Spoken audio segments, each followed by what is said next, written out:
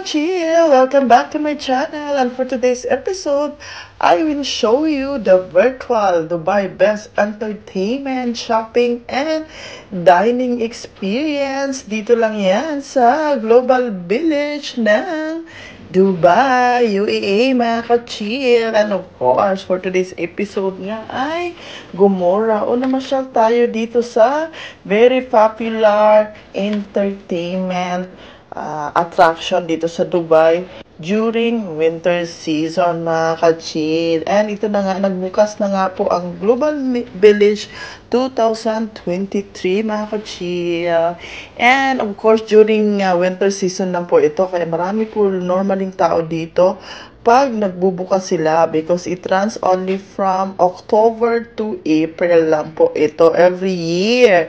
So ito na nga mga ka-chill, gumura na kami dahil it's a long weekend here during this time. So ayun, national holiday po ng Dubai this time. Kaya nagpunta po kami dahil it's holiday. Kaya na-notice yung mga ka-chill, ang daming tao this time. So yun na mga ka-chill, ang ticket dito, normally pag uh, doon po kayo bumili mismo sa gate nila is 30 dirhams. Kaya lang, mas makakamura kayo pag nag-purchase na po kayo online ng advance at iwas na rin po ang pila mga ka-chill dahil mahaba po talaga ang pila dito pag nagpunta kayo. So, ang ticket nga po dito mga ka-chill during weekday ay 22.50 dirham. Sunday to Thursday, excluding holidays po ito mga ka-chill. Pero pag any day naman po kayo pupunta, so 27, 27 dirhams po, pwede na po yung weekend, pwede din po yung daily pag nag-purchase kayo sa online.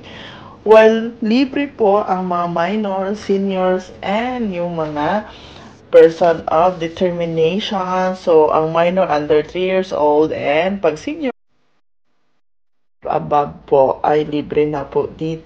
Ikot-ikot kami dito. And syempre, uh, maganda po talaga ang experience dito dahil marami po kayong makikita ditong different different countries o di ba? So panalo. For this years mga kachilula po ako nakitang um, Philippines na ano na pavilion dyan. Siguro nga po eh, wala na silang budget. Charot lang So, inong mga ka-chill, ang gaganda po ng mga design pag ganito, parang nasa ibang bansa ka talaga. Normally, hindi namin nami-miss ang ganitong entertainment dito sa Dubai. Pero, the last time I went to Global Village, mga ka-chill, was 2019 pa. After that, dahil pandemic nga po eh, uh, hindi na mostly lumalabas mga tao and they were years na nag-close sila 2020 yata So, bumalik sila ng 2022 yata mga Last year, hindi ako nagpunta. So, this time,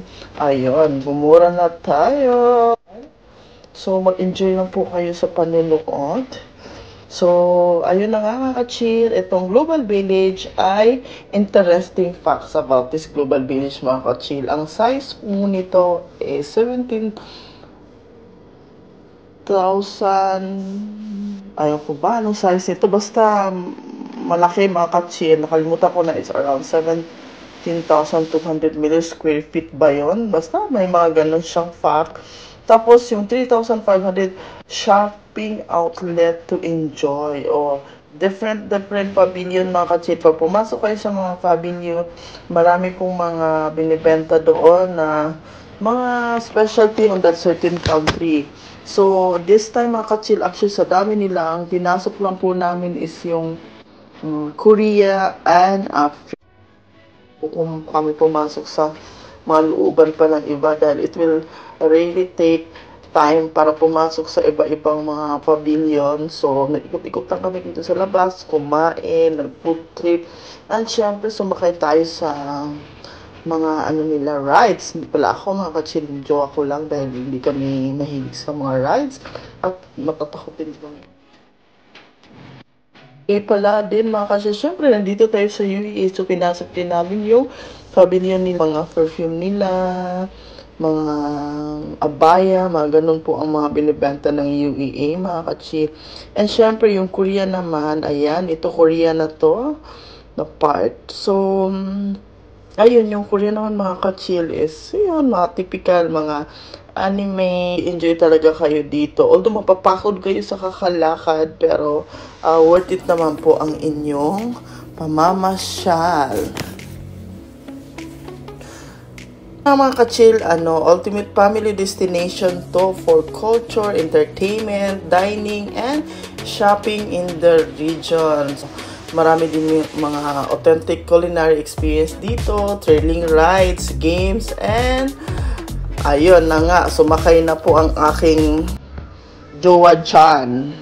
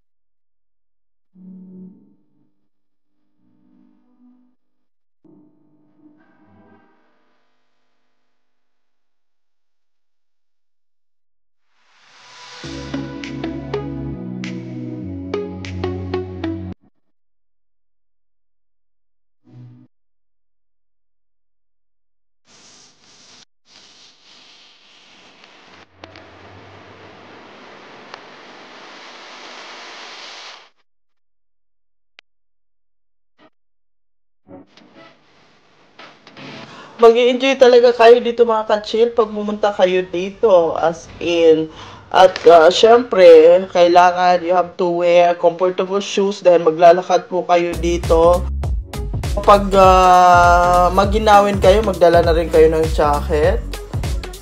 Mga ka-chill, dito kayo sa Dubai at kung uh, dito kayo sa UEA na hindi pa kayo napasyal sa Global Village this year, pumunta na po kayo, especially this season, Christmas season mga ka-chill. Meron silang mga activity for Christmas. Ma-experience nyo ang entertainment dito. So, ayun mga ka-chill, I hope you enjoy watching. Till next time, bye!